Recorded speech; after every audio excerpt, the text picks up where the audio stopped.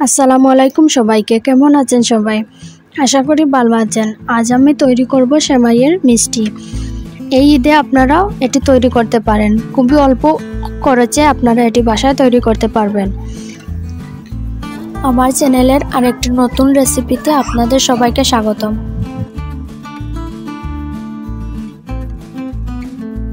সেমাইয়ের মিষ্টি তৈরির জন্য আমি এখানে সবগুলো উপকরণ নিয়ে নিয়েছি।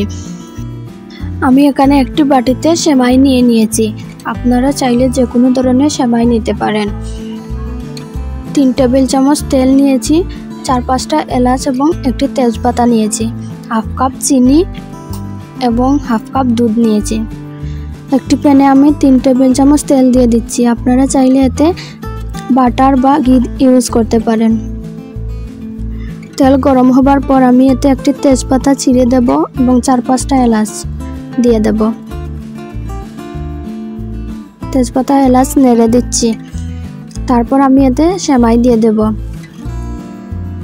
সেমাইগুলো তেলে ভালোভাবে নাড়তে হবে। আমি এখানে এক কালার সেমাই ইউজ করেছি। আপনারা চাইলে কালারফুল সেমাই ইউজ করতে পারেন।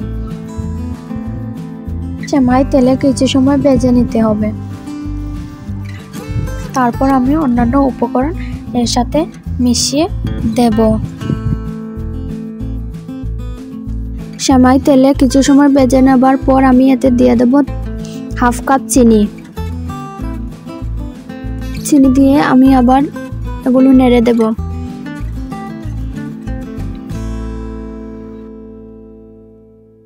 সেমাই এবং চিনি ভালোভাবে মিশে যাওয়ার জন্য আমি বারবার নেড়ে দিচ্ছি।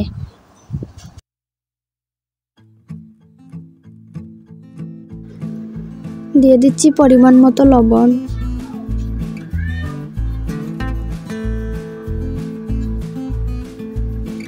এবার দিয়ে দিচ্ছি হাফ কাপ দুধ।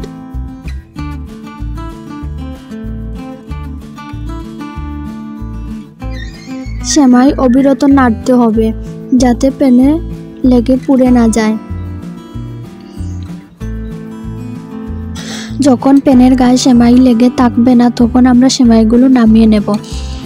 তার আগ পর্যন্ত সেমাইগুলো নাড়তে হবে।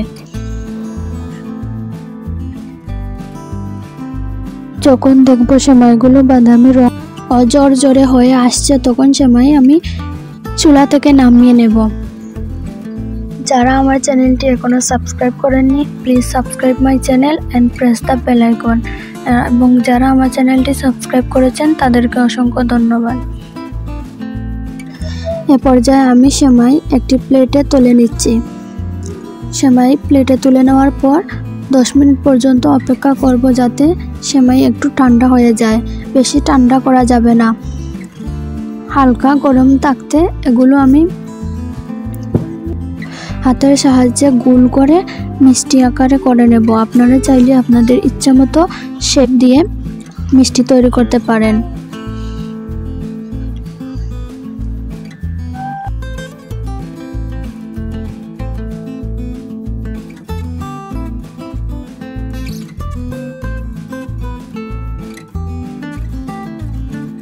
এবার আমি মিষ্টিগুলো গুঁড়ো দুধে গড়িয়ে নেব। এভাবে আমি একটি একটি করে মিষ্টিগুলো তৈরি করব।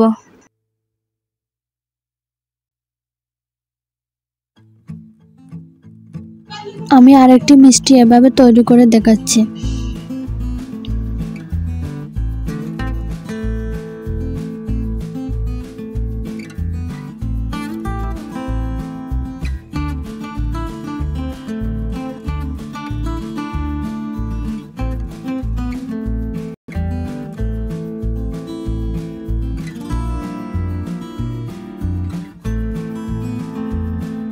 ব্যাস হয়ে গেল এই ঈদের জন্য সেমাইয়ের মিষ্টি। ধন্যবাদ সবাইকে।